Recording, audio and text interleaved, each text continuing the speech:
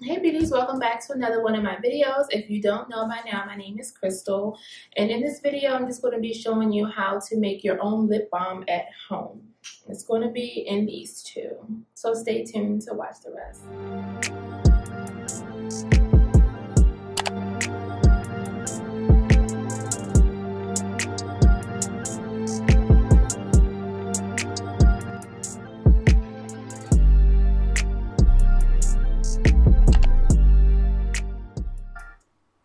Guys, so this is everything that you will need. Of course, I'll have everything below for you with the links as well. And we're going to start off with the beeswax. And I to use one teaspoon of that, followed by the shea butter. I use two tablespoons of that. And guys, I really like this recipe because it leaves your lips moisturized for a long time, I feel. Because I feel as though when I get the kind from the store, I have to keep reapplying and reapplying just to get my lips to feel some type of way. so we're going to come in with the vitamin E oil and I just use 5 to 8 drops with that. And then 1 teaspoon of the coconut oil.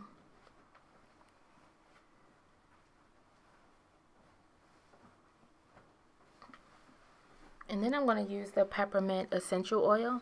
And guys, I really like the use the peppermint essential oil because it gives you that soothing effects. And it also helps, peppermint oil also helps with um, chapped lips. And after that, I'm just going to add in the almond oil, and that's just one teaspoon of that as well. And after we get everything in there, we're just going to use the double boil method. And it only takes a few minutes to get everything to boil down. Alright, so after you have everything boiled down, um, you just normally you will put it into a chapstick filling tray. It'll make it much easier. But this is all I had on hand. Um, and I use a droplet as well. But like I said, the chapstick filling tray is much easier. You just pour it in. Alright, so after you get everything in your containers, I normally put it in the refrigerator um, for 24 hours until it solidifies. And after that, you're all done.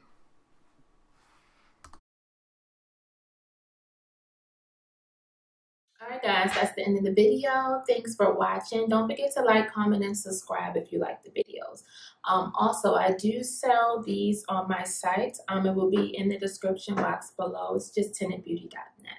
But anyway, thanks guys. Love you. Bye.